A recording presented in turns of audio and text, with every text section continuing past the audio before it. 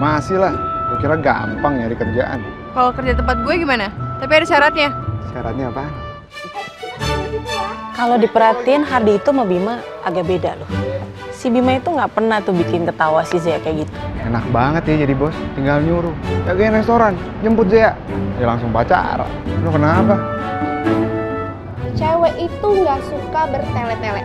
Cewek tuh sukanya yang to the point aja. Gue minta lo jangan ganggu-ganggu Hardi lagi. Karena Hardi mau nikah.